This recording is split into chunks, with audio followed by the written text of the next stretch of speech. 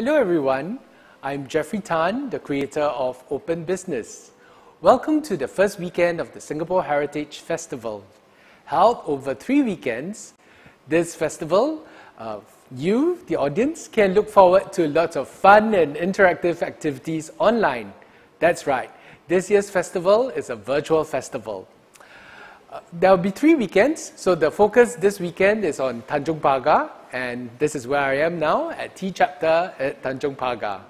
Next weekend's focus is on Pasir Ris, and the final weekend is on Kallang. Today, what you're about to see is the second of this program called Open Business.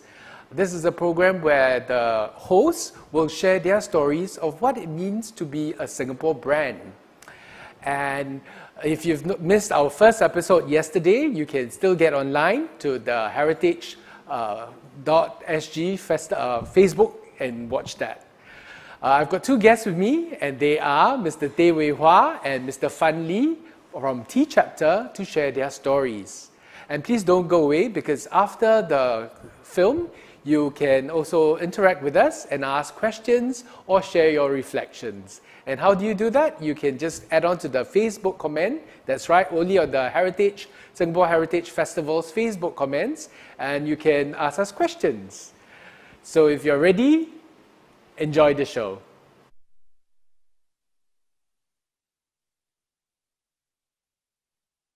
Hi, welcome to Open Business at Tea Chapter. My name is Jeffrey, the co-creator of this program. We're proud to be part of the Singapore Heritage Festival organized by the National Heritage Board. Come, join me. Hello ladies and gentlemen, I'm Tay Wei Hua. I'm the Assistant Digital Marketing Manager at Tea Chapters.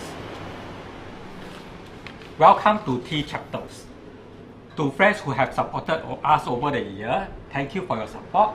To people who are new to Tea Chapter, welcome Today, Fan and I will share a little bit of our journey at Tea Chapters. Tea Chapters opens its door on the 1st of October 1989. We have been in operation for the past 31 years.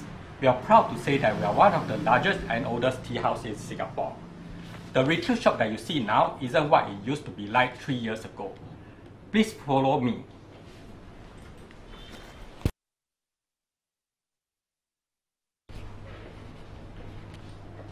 This is a compressed tea or cha ping. For our 28th anniversary, we especially invited an artist to draw the retail shop as it is. Behind this wooden display shelf, it used to be an artway where customer can actually walk in from shop number unit 11 to shop unit number 9. So how did I started in this tea business? In 1994, I visited my first tea house called Cha Xiang is on the second story of the shop houses at Sago Lane. When I first stepped inside, the feeling was indestructible. It was a combination of deep appreciation of Chinese culture with tea. And not knowing what to do after my national service, I chanced upon a recruitment ad by Tea Chapters and the fond memory of the tea house came back into my mind, so I decided to give it a try. Despite the high turnover in the F&B line, I have been on and off with Tea chapter for the past 20 over years. And I even remember I celebrated my 21st birthday at Tea chapters. When I'm in between job, I always come back to Tea chapter to work temporarily as it's a heaven for me. Okay, enough about me. Let's move on to the most eye-catching item in the retail shop.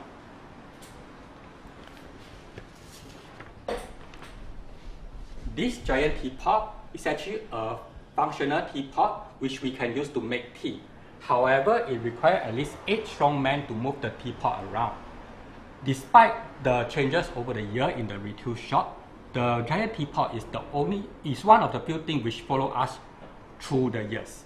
Let's move on to the second floor of the tea house. Welcome to the second level. I'm Fan Lee, the Executive Director of Tea Chapter let me show you different types of sittings that we have over here. So uh, over here, we have the Korean style sitting, and follow me, I shall show you the Chinese one.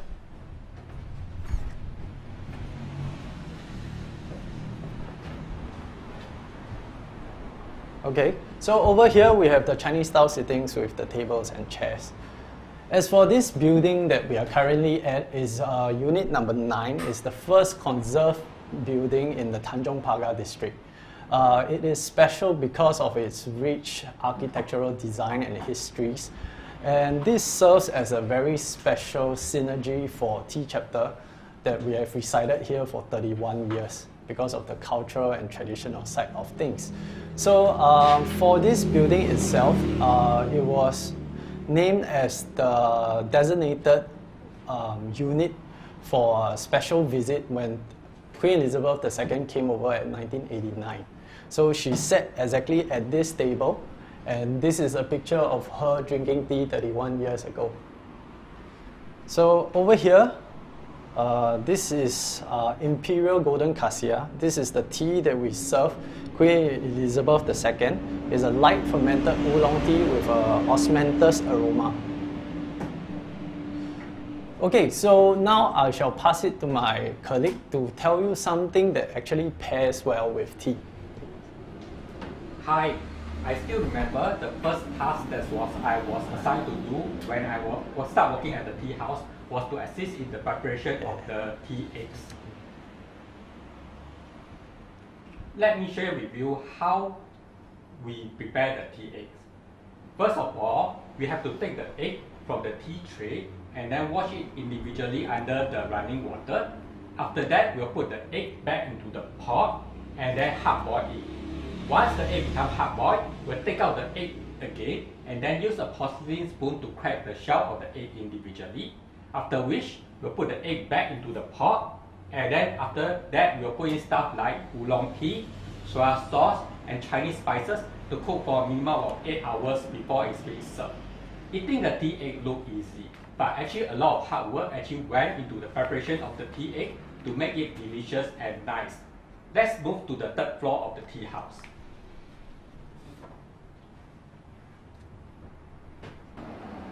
Welcome to the third level of tea chapter. This is the Japanese style sitting. So now let me brew some tea for you.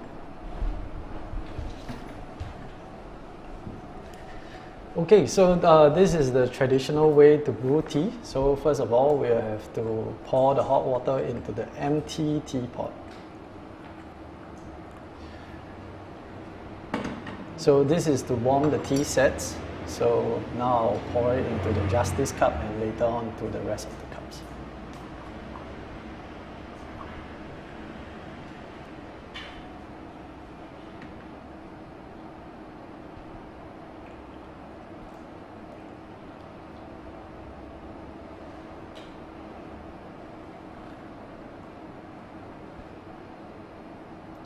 Okay, so now I'll finally pour in the tea leaves.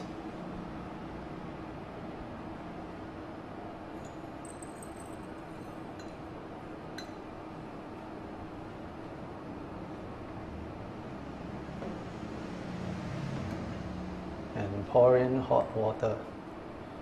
So for this first pot, you don't actually drink it. It's actually used to wash the tea leaves and to awaken the tea leaves. So in Mandarin, we call it the Xing Cha.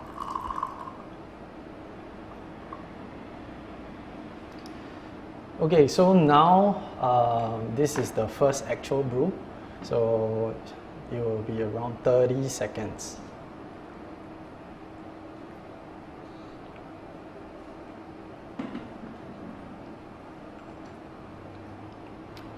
Okay, so while we wait, uh, let me reintroduce myself again. My name is Fun, spelled as F-U-N-D, so it means money. So uh, I don't know why I gotten this name and uh, why my parents gave it to me. I guess they just really wanted me to earn money. Lah. Yeah, so uh, with this, a bit about myself. So when I was younger, I used to sell things like uh, Dragon Ball cards and even pirated CDs. Yeah, so this buying and selling spirit probably helped me propagate a passion for business itself. Yeah. Um, so that is a bit about me. So for how Tea chapter started was uh, 31 years ago. Um, my parents and their SIM classmates really wanted to start a business, but they didn't really know what to do. But uh, being traditional Chinese, so tea became one of the top choices that they can make. So I guess that's how we got here today. So um, as for myself, when I joined, it was around eight or nine years ago. When I joined, I had no experience. Um, I didn't know anything about tea chapter. It was really hard for me to start. And uh, I was an information engineering graduate, so it makes it even worse. So it was a very difficult journey. So some of the problems that I faced then, uh, I still do face now. One of the most difficult problems I would say would, uh, would deal with the human resources part of things. So how to actually communicate with them well and plan things well with them so or keep them aligned with the whole organization and understanding the missions and visions uh, and all these things to get them working together. So uh, amidst these challenges, I do want to bring in some new ideas to the plate. So some of the things that I like to do is actually to play Weiqi. So as you can see here, there's a Weiqi board. So I used to play a bit, as, uh, even in Japan. So I'm trying to fuse playing Weiqi and the appreciation of tea itself together. So with this, I've contacted uh, Singapore Weiqi Association and we have worked together um, for a period of time. So that's one. The second thing we're trying to do is actually uh, e-commerce, so bringing the convenience to our consumers as well as um, gaining greater exposure through the internet. However, with all these ideas, uh, it's simply not enough in the Singapore environment. It's pretty hard as uh, drinking tea is not trendy and hip. Uh, unlike the rest of the things in the precinct, which is like uh, cafes, Japanese, Korean restaurants where you can see tons of people flooding to. So that is one. Another thing that we face is actually the Max, uh, sorry, the construction of Maxwell MRT station. So that is um, been there for five years. So they actually demolished a very big uh, car park there and resulting in the loss of parking space and a lot more inconvenience for our customers to visit our current place itself. So yeah, that is some of the problems. Okay, so with regards to the current uh, situation of tea chapter, actually we are trying our best to invoke um, and advocate more for tea culture and tea appreciation. So amongst the youth, and we are really trying to stand in the front line to try to do this. So some of the things we do includes conducting classes for primary school students, uh, secondary school students, and we try to align them with all the different festival celebrations there are.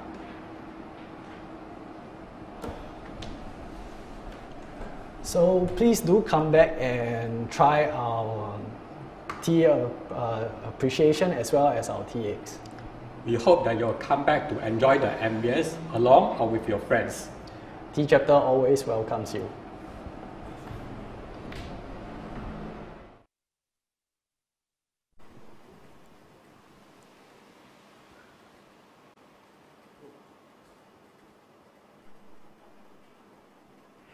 Thank you for staying with us. We hope you've enjoyed listening to their sharing. And this is the moment where you can ask questions to Mr. Fan and Mr. Tay. So beside me is Mr. Fan and Mr. Tay. Uh, while we're waiting for our friends to ask their questions or to share their reflections, maybe let me have a quick chat with them. Let's start with Mr. Fan. How was your experience uh, creating this open business? Um, this experience was a special one. I have not really been in front of a camera and I still have a bit of jitters till now. okay, don't worry, you're, you're doing very, very well. Thank you. Uh, Mr. Tay, how was it for you? Okay, uh, this is my first live show, so it's really a very eye experience for me. Uh-huh. And I really know that it's not easy to remember all the lines that we have said just now. but the lines all came from you guys, yeah? We, we spent about five rehearsals, yeah, yeah. over the last four, five months. Uh, while we're waiting for the questions, maybe I can ask a little bit about tea chapter, yeah? Uh, maybe I'll ask Mr. Tay this time. Mr. Tay, how, what are the different types of tea you have here at tea chapter? Uh, basically, we have about five types of tea. the green tea, white tea, oolong tea, red tea, black tea, and floral tea. Okay, great. And other than tea, uh, what else can they, you know, can you do? Do you just li- drink tea and eat tea eggs? Let's find out from Mr. Fun. Uh, what else do you all have on your menu? Okay, so some of the things that we have on our menu include some tea jellies, which we created from pu'er or even like lychee tea. Oh, Yeah. So quite- So um, there's also some uh, assortments of tea cookies. Okay. So where you can pair well with the tea itself. I Mm. see. And, and uh, there's a question from one of our friends, you know, why is Tea Chapter called Tea Chapter? so this one must ask the boss. okay. Uh, okay, so Tea chapter wasn't started by me, but um, why the name chapter came about is because they wanted to do a lot of different chapters. Ah, So So yeah, this is chapter one. yes. Okay, so on that note of tea, there's another question. How many blends of tea does Tea Chapter serve? I think we've sort of answered that question, right, just now? yeah. Yeah, so, okay, we've answered that question. So if you have any other questions, this is the time. Uh, you can also encourage your friends to tune in. It's uh, Heritage, Singapore uh, Heritage.sg. Yeah? Okay, while we are still waiting, Heritage Festival, sorry, heritagefestival.sg. Yeah? Uh, any other questions? Uh, anything you'd like to share with our friends? Okay, maybe the question of, you know, it's been quite a few tough few months, right? Uh, how, what's your recovery uh, strategy? Any recovery strategies that you guys are thinking about? Yeah. From me. Yeah, yeah, from Yeah. you. Uh, I guess we need to increase our exposure and try to appeal more to the masses. Okay. So for them to come over. Nice. And, and the idea of appealing to the masses, I think mm. the next question from Luke is probably good for Mr. Tay. Yeah. Yeah. Which is what kinds of tea are suitable for cold brew? Because they see this boiling, not all tea are hot, right? Okay, basically, I will recommend our jasmine pearl, Okay. which is a mixture of jasmine flower with green tea. Mm. So what you can do is after you make the tea, you can actually put in the fish and cold it overnight or for a few hours before serving it. Okay. So I guess I have a cheeky question for fun. Huh? Uh, so what about, you know, bubble tea? Is that considered tea in tea chapters definition of tea?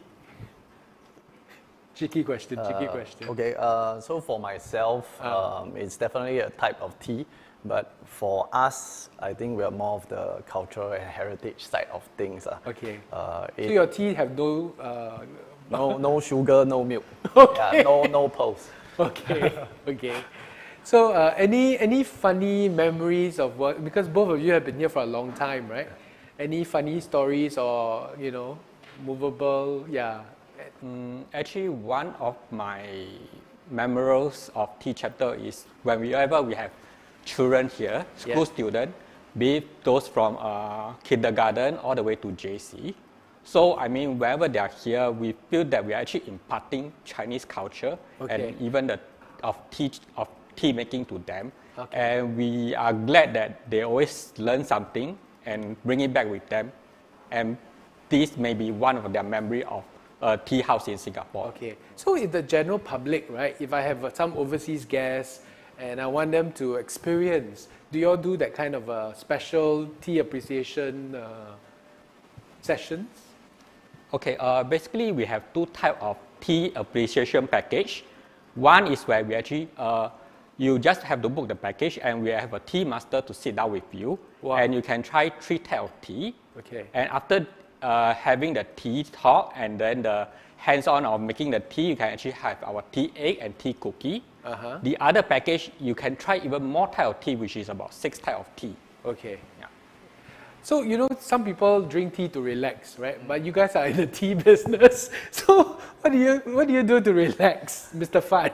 Um, for myself, ah, ah, yeah, yeah. okay, so I do play some basketball and stuff. Okay, so you're quite an active person. Uh, yeah. I hope so. Okay. then, uh, Mr. Tay, what do you do to relax? Uh, for me, I actually like to be in this tea house when it's not open for business yet. The uh-huh. whole place is very quiet and serene, Okay. and it's actually helped me to relax oh, before I start the day work, Okay. or even after the end of the day. Yeah, when the tea house is closed. Okay. You know, there, there might be friends who are watching and still not convinced about tea drinking. yeah. So, you know, can, can you uh, share, you know, some benefits of uh, slow brew, you know, tea drinking? Maybe we start with Mr. Fan first. Yeah, so for me, tea drinking is a bit like mindfulness. So Yes. the whole process of brewing it is actually like communicating with yourself.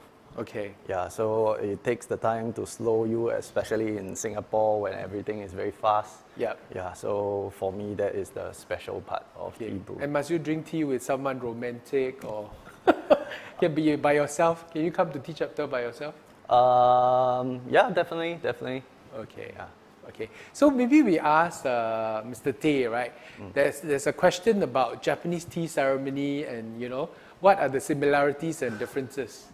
Okay, for Japanese tea ceremony, they are very uh, emphasized on the time taken and actually the steps Okay. in doing the tea. Are there more steps in the Japanese? Yes, in the Japanese, there's more steps, and every step they will actually follow through. Yeah. While in Chinese tea ceremony, it's a very free for all, so you can actually do your own style. Yeah. Yeah, and then there's no right and wrong in Chinese tea Mm. making. Yeah. So with all this tea, right, and you have five, six different types, uh, Mr. Fan, do you know like where where do the tea come from? Is it all from one place or? Uh, generically, we import them from China and Taiwan. Okay. So all the famous places there lah. So Okay. the Fujian side, uh, the Wuyi Shan, yeah, Wuyi Mountains, and Taiwan, of course, from their mountains as well, the uh, Taichung area. okay. And and maybe we ask Mr. Tay, right? Can people order the tea online through you guys? Yes, you can actually order tea online through us, through our website, and we will uh, try to deliver them within three working days. Okay. And for friends who want to have an unusual birthday party, do you, do you all do that kind of things, Mr. Fan? You, I see you laughing. Uh, we can accommodate, but of course, uh, we are still a tea house, lah, so Okay. we want to advocate the serenity and what. So, um, if the birthday party is not too rowdy, then sure, why not? Okay. and, and, are there, I, I see downstairs there were some games. Yeah, yeah. Yeah, some games for people. So they can play Chinese chess, Mm. Wei Qi, uh, Five Stones, is it, or what? More traditional types of games. lah. Okay. Uh, we also allow if people bring some of their games here, but Okay. yeah, at the end of the day, uh, the rowdiness is the consideration factor. Okay, so, so they must do uh, cultured, civilized things like Chinese calligraphy, is it? Not not exactly because like tea drinking, like Wei Hua said just now, is more of a casual type Yeah. in terms of um, Chinese style. So, but nonetheless, uh, you know, this serenity is something that we should try to preserve as much as possible. Okay. And, and uh, another curious question, you know, are there like uh, non-Chinese who come and visit? Yes, actually, uh, beside uh, locals, we have those uh, tourists Yeah. from all over the world, be it Japanese or be it uh, from America or from Africa. So whenever they look at their guidebook, they saw Yeah. us they would, and if if they really like tea, they will come to the tea house to experience what it's like having tea in a Singapore environment. Mm, So do you, I'm sure you work with a lot of like tour agencies and kind of uh, listings, yeah? Yes. Yeah. So, so uh, anything else you'd like to share with our friends who are watching about Tea Chapter? Um, okay, for tea itself, I think in Singapore, right, um, because everybody drink it in the restaurants, so Yeah. they felt it like it's a very casual thing and just, um, how to say, it's just very normal. But in a sense, uh, I hope that everyone that's watching right now give it a chance, come down and experience how to brew tea the proper way. Yeah. Yeah. Yeah. And, and at, at Tea Chapter, there are different types of sitting, as we saw earlier. So, you know, you don't just have to sit on the floor if you're not comfortable or kneel, like what Mr. Fan is doing. Yeah, you can opt for the Chinese seats, right, where you can sit on the proper chair, or the Korean seats where you can uh, dangle your feet slightly lower, right? Kind of uh, sitting. So not to worry, not everyone needs to sit cross-legged like us. Uh, any other things? Our friends, any anybody else would like to ask questions? If not, we will wrap up. So thank you, Mr. Fan, and thank, Thank you, you, Mr. Jeffrey. Tay. Thank you, Jeffrey. And thank you, friends, for tuning in to Open Business at Tea Chapter. Uh, to uncover more stories about Singapore's history and heritage, please visit theheritagefestival.sg. So join us at the festival. It still runs for three weekends. Yeah, this weekend, next weekend, and the following weekend till early July. See you.